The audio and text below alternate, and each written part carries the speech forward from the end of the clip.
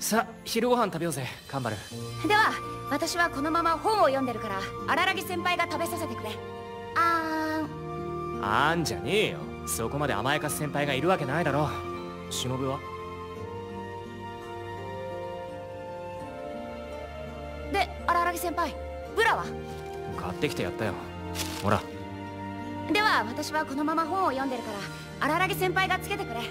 あーんあんの意味が変わっちゃってんじゃねえか。